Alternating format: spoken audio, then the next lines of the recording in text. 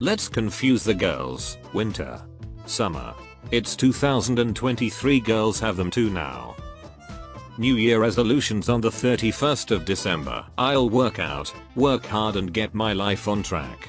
New Year resolutions on the 1st of January. I'm never drinking again. Why won't you ever have a threesome? I prefer to disappoint one woman at a time. If I wanted to disappoint two people at once I'd go to dinner with my parents. How tall are you? Why? I only date tall guys. 6 feet 3. How much do you weigh? What the frig why? I don't date overweight girls. Wow you're a misogynistic pig.